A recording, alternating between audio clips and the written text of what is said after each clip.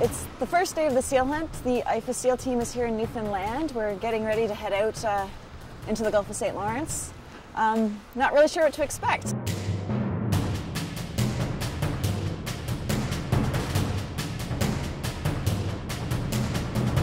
I always like to think that every year will be the last year and that we won't have to go back. Back when there was good ice, we used to land because that was, you know, that was the easiest way to document the hunt. In recent years, we've had to use these uh, Cineflex cameras. It's a camera mounted on the outside of the helicopter, and we can film from up in the air. And basically, we had to move to that system because there literally wasn't enough ice that we could land on. And also, there's more shooting done out here. And obviously, being on the ice when shots are being fired is not a desirable situation to put your team into.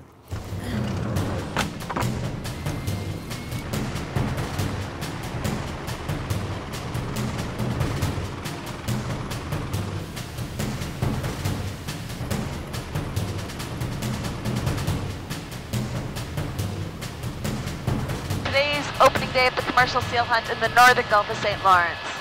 Um, a few weeks ago there was supposed to be a hunt in the southern Gulf, but it was a bit of a bust. Only five boats went out and not many seals were killed. I'm hoping the same thing happens here again today. Unfortunately, the province of Newfoundland announced last week a bailout of $3.6 million for the sealing industry.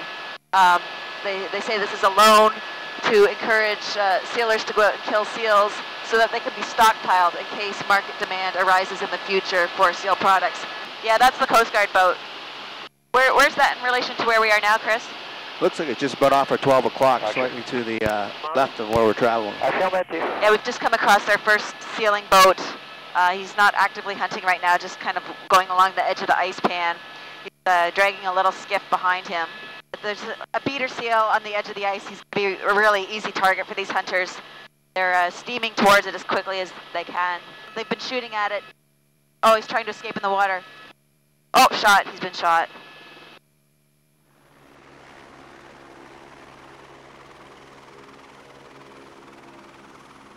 We've got a, a little table on the back of the boat that uh, they'll be using to pelt the skin, pelt the seal. Placing it open down the belly now. Our documentation activity is one of the more expensive parts of this campaign. However, it has been crucial in getting trade bans on seal products. If it weren't for IFAW here documenting the seal hunt, the Government of Canada says the hunt is humane. They say it's well regulated. They say there's no problem.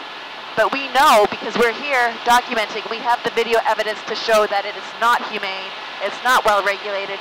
Even with the increased subsidy from the government of, of Newfoundland announced last week, $3.6 million to a processing company in order that they can buy pelts. There's still very few boats out here. In fact, we only saw two boats at all this morning. So for a boat that got two seals in about an hour, for five guys on the boat, that's $54.